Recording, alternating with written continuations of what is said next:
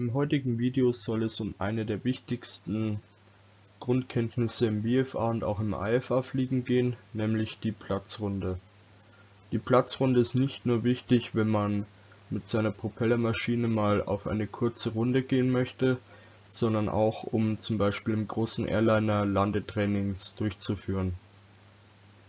In diesem Video soll lediglich die Theorie hinter der Platzrunde vorgestellt werden wie das Ganze dann online mit Funk angemeldet wird und wie das Ganze dann im Flieger aussieht, das machen wir gesondert, damit dieses Video so kurz wie möglich ist.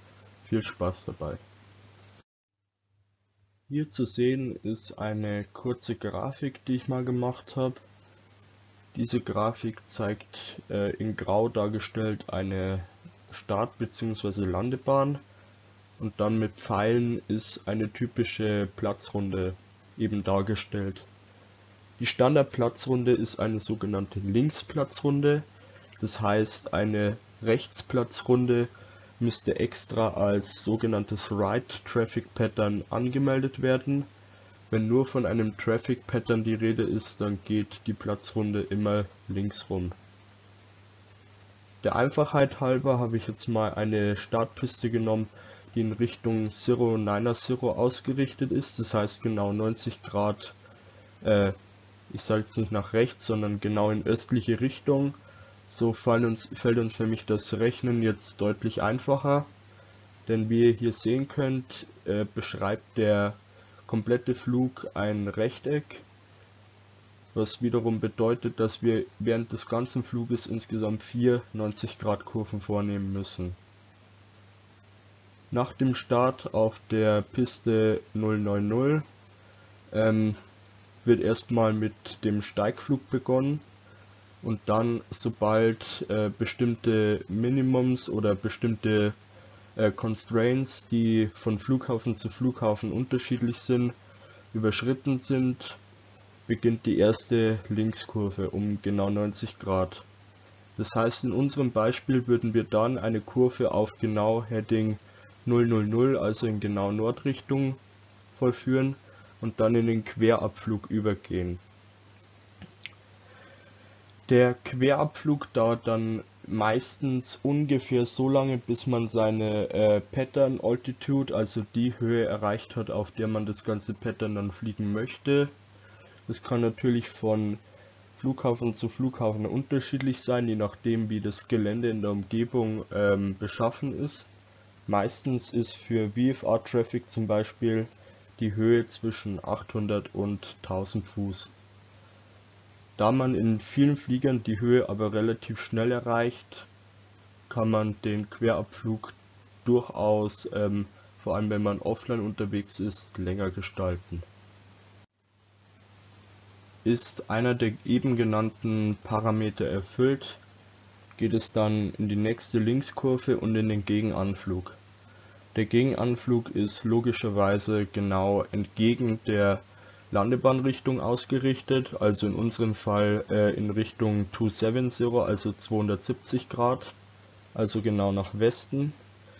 Der Gegenanflug ist, wie man das auch an der, an der Pfeillänge erkennen kann, der längste Teil des, Anflug, äh, des gesamten Fluges und ähm, man muss beim Gegenanflug, je nachdem welche Art von Endanflug man machen möchte, das heißt ob man jetzt ein ILS machen möchte, ob man dann ein Visual Approach fliegen möchte und auf welcher Höhe man sich befindet, äh, dementsprechend unterschiedlich lang gestalten.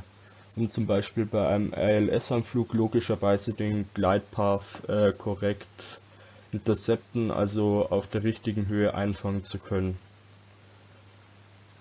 Ist der Gegenanflug dann äh, beendet, das heißt hat man sich dazu entschieden jetzt äh, in Richtung Piste wieder zu drehen, geht es in den Queranflug. Das heißt wir vollführen erneut eine 90 Grad Kurve nach links und gehen in den Queranflug.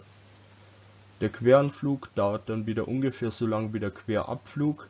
Dementsprechend sollte man vorher den Querabflug auch äh, in dieser Richtung planen, dass man eben im Queranflug für sich selber genug Spielraum hat, um zum Beispiel bestimmte Anflugvorbereitungen zu treffen, wie ähm, bei einem Visual Approach zum Beispiel die Piste richtig in Sicht zu bekommen und möglicherweise noch Korrekturen an der Höhe und an der Heading durchführen zu können oder auch zum Beispiel um Tragflächen auszufahren, Geschwindigkeit abzubauen und möglicherweise das Fahrwerk schon auszufahren.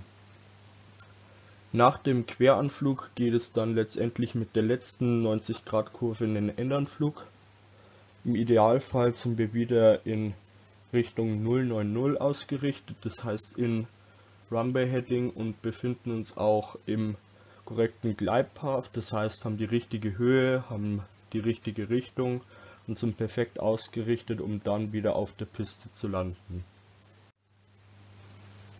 Natürlich ist wichtig zu beachten, dass vor allem im Online-Flug ähm, bestimmte Änderungen bzw. bestimmte Phasen des Fluges konkret angemeldet werden müssen. Das heißt, man kann nicht einfach ohne irgendeine Form von Landefreigabe in den Endanflug drehen und dann möglicherweise auf der Piste aufsetzen, wenn noch Verkehr auf der Runway ist oder irgendwas in dieser Richtung. Auch äh, ist es wichtig vorher auf den Charts, also auf den Abflug- und Anflugkarten nachzulesen, ähm, wie ja wie da bestimmte Prozeduren, also Procedures ablaufen, ob es da bestimmte vorgefertigte Routen für ein Traffic Pattern gibt oder ähm, ähm, welche bestimmten Restrictions, also welche äh, minimalen Höhen und minimalen Geschwindigkeiten es ähm, rund um den Flughafen gibt, um möglicherweise zum Beispiel Lärmbeschränkungen oder halt auch ähm, Gebäuden etc. ja mit genügend Abstand quasi ausweichen zu können. Ansonsten ist es noch wichtig, sich vielleicht ein paar Variationen anzuschauen. Die gehen wir jetzt noch kurz durch. Wir sehen wieder dasselbe Traffic Pattern, aber diesmal noch um ein paar Pfeile ergänzt. Es gibt jetzt nämlich die Möglichkeit, sich nach einem Traffic Pattern oder generell, ähm, wenn man sagt, man hat genug Landetraining gemacht, ähm, eine Art Abflug vom Flughafen dann eben zu wählen. Unter anderem eben über eine SID beim äh, IFA fliegen, das heißt beim Instrumentenflug. Aber beim, auch beim BFA fliegen gibt es bestimmte Abflugmöglichkeiten. Es gibt die Möglichkeit eines direkten Abfluges, das heißt nach dem Start bleibt man auf Runway Heading, also in dem Fall 090 und steigt weiter und tritt dann wieder in, mit den Lotsen in Kontakt und plant den weiteren Flug. Zweite Möglichkeit wäre ein 45 Grad Abflug, das heißt in unserem Fall in, in Richtung 045, also 45 Grad in Richtung Nordost. Auch das müsste vorher mit Lotsen geklärt und angemeldet werden, aber das schauen wir uns nochmal gesondert an, wie das funktioniert. Und dementsprechend gibt es natürlich auch die Möglichkeit von außen in ein Traffic Pattern einzufliegen. Typischerweise passiert das im Gegenanflug unter einem 45 Grad Winkel zum Gegenanflug. Das heißt in unserem Fall würde das Ganze in Richtung Südwesten passieren, also in Richtung, muss ich selber kurz rechnen, in Richtung 225 würde das Ganze dann passieren. Ähm, um dann eben den Gegenanflug äh, richtig durchführen zu können, das heißt wieder äh, richtig Höhe ab, äh, nicht Höhe abzubauen, sondern mit der Höhe abzuschätzen, wie weit man eben ähm, von der Landebahn entfernt in den Queranflug drehen muss. Das ganze Thema Traffic Pattern ist wirklich wichtig, dass man das Grundprinzip davon verstanden hat. Aber das Thema Traffic Pattern ist nicht zu verwechseln mit einem Go-Around. Das heißt, wenn man jetzt als vor allem in IFA-Flug ähm, durch den Lotsen ein Go-Round erteilt bekommt, dann entspricht das normalerweise nicht einem Traffic Pattern. Das heißt, man ähm, dreht nicht einfach dann in den Querabflug und wieder in den Gegenanflug ein, sondern meistens sind, also eigentlich in 100% der Fälle, sind für jeden Fall eines Go-Rounds bestimmte Charts und bestimmte Routen vorgegeben, die man dann abfliegen muss. Wie ein St. Run funktioniert, das schauen wir uns in einem gesonderten Video an. Und das Ganze ist ähm, sehr, sehr streng und sehr, sehr strikt mit Regeln verbunden und entspricht eben nicht einem Traffic Pattern. Ein Traffic Pattern muss genauso wie jeder andere Flug vorher immer angemeldet sein, damit sowohl die Flugsicherung als auch andere Piloten davon Bescheid wissen, was man selber jetzt als nächstes vorhat. Aber natürlich ist ein Traffic Pattern ideal, um zum Beispiel für sich selber das Fliegen ein bisschen zu, zu üben und zu verinnerlichen, weil man durch ein Traffic Pattern eigentlich extrem schnell einen Überblick darüber bekommt, wie so der ganze Autopilot funktioniert. Man bekommt sehr, sehr viele Landungen in kürzester Zeit und kann sich so ein bisschen auf das jeweilige Flugzeug einstellen und einschließen.